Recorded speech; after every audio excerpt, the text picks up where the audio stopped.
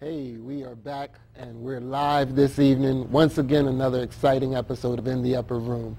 And uh, I just wanted to say thank you to Shauna for that beautiful, beautiful prayer that she gave at the opening. Um, and it's always such a blessing when Shauna leads us in prayer. Uh, I get a chance to really just sit back and, and watch God's Word come to life as it's presented through my beautiful co-host, Shauna Easter. Now, joining us this evening, a special treat.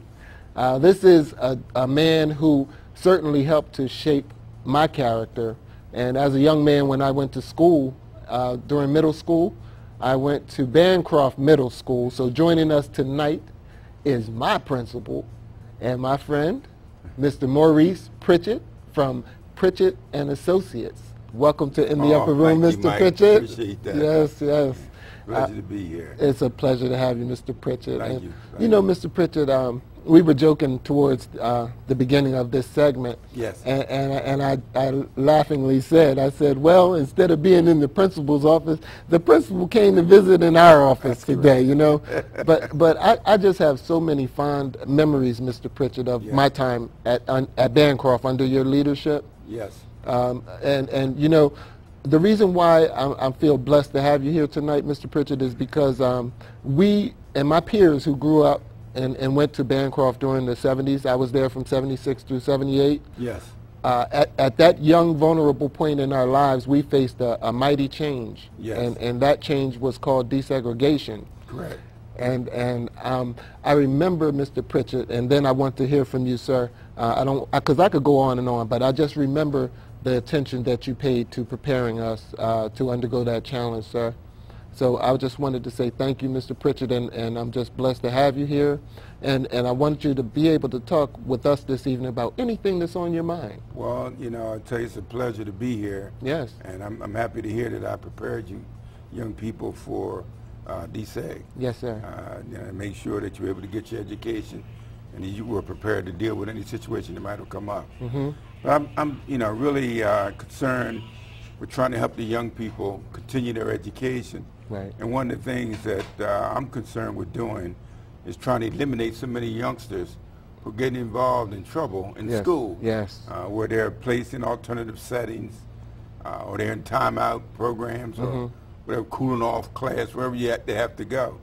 Uh, so I'm, I'm, I'm concerned about here we're getting ready to start school the 31st of uh, August, Yes. and the youngsters will be coming in uh, elementary through high school. Right. And I'm hoping that they come back with the frame of mind of coming in to succeed in life. Right. And so I'm hoping also Mhm. uh, parents will spend some time really sitting down talking Yes, sir. about here's what my expectations are.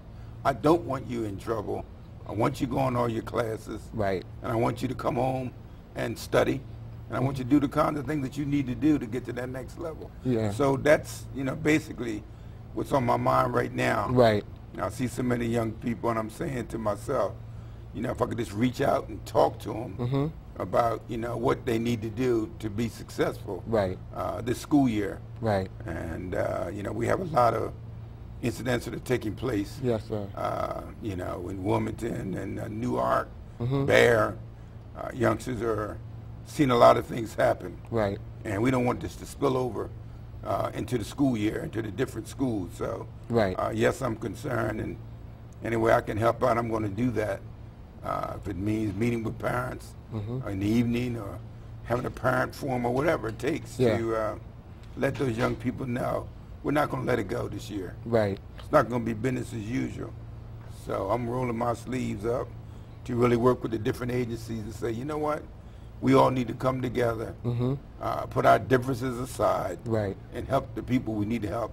That's the young kids. Yes. And I think we can do that. Absolutely. And, you know, Mr. Pritchett, uh, in, in listening to you, I mean, your message actually has been pretty much the same and solid ever since I've known you. Thank you. And- and- yeah, because what you, it seems like what you bring to the table is a holistic approach in dealing with young people because young people, although, you know, we don't give them certain responsibilities, they're still complicated people. Yes. And they're, they're works in progress, you know? And, and so what you bring to the table is an understanding and, and, and a working knowledge of how to deal with young people. Yeah. Because at the, during those times at Bancroft, one thing I remember is when there was a problem, uh, Mr. Pritchett, I'm telling you at home, Mr. Pritchett, when there was a problem, he would gather us students together before the flashpoint took place, and he'd call us to task. Um, he actually made sure that not only he, but the other staff administrators and teachers uh, paid attention to the needs of the kids and, and put actually put the kids first because I can recall the teachers staying past the close of the school day. Yes. I can remember the parents requesting to meet with the teachers, and it was not done to, to establish a symbolic victory, but it was to um, achieve a shared goal, Yes. which was to provide a safe and um, atmosphere that was conducive to learning. Yes. And that was our experience. And I'll be honest with you, when I left Bancroft School, I felt prepared for anything. And, and it, was, it was not because necessarily that we had brand new books or anything of that nature.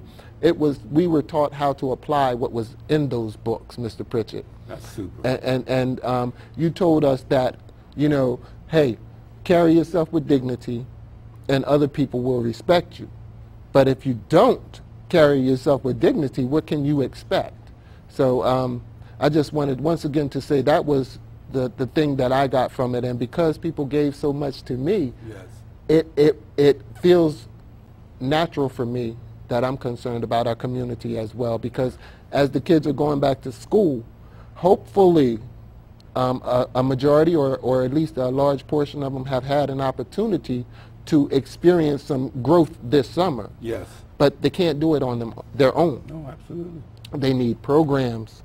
They need structure, but they also need recreation. You know I'm concerned about our parks, Mr. Pritchett. We talked about yes, that. Yes. Um, yes. so there's a lot of work to be done. You can't do it by yourself. No, I no. can't do it by myself. The parents, they need our support as well, but they must be involved because the kids come first. Oh, absolutely. And that's why I think that uh, right now we need a lot of parent forums. Yes. Uh, and I like the point where you stress that many of our youngsters are going to do well. Yeah.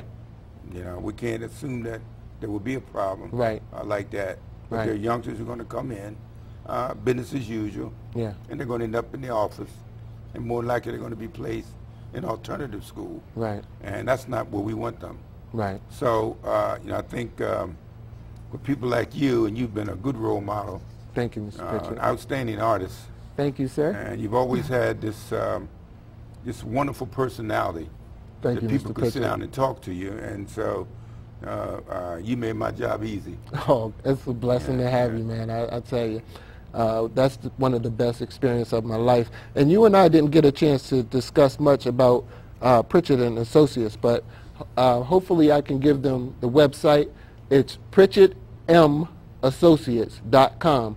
Please go there and find out what wonderful works that uh, Mr. Pritchett and his associates are doing in the field of education and child development. Mr. Pritchett, I'm going to need to ask you to come back because unfortunately Oh, for this segment we're out of time. Yes, But yes. thank you again, sir, for Okay, coming. pleasure. And please stay tuned at home for more from In the Upper Room with our co-host, Shauna Easter.